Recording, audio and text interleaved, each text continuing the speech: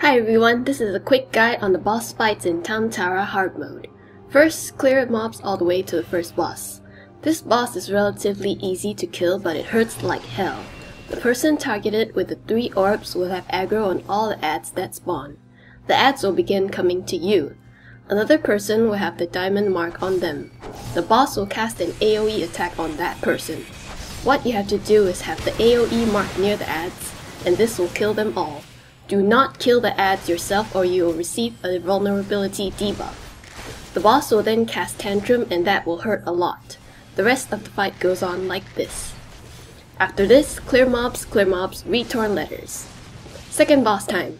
You have to protect this little Paiyo Reiyo guy in the center. Later on, purple orbs will spawn and everyone has to eat them before Paiyo does. If Peo dies, everyone dies. Pretty straightforward. Then clear mobs, clear mobs, read torn letters, get creeped out by the cutscene before the final fight. Oh my bloody hell, I got goosebumps. There will be gargoyles that launch a linear attack. Just dodge those. Some undead grooms will spawn, kill them before they reach the girl. Just like any other wedding, avoid gargoyles, kill the groom, and everyone lives happily ever after. The end.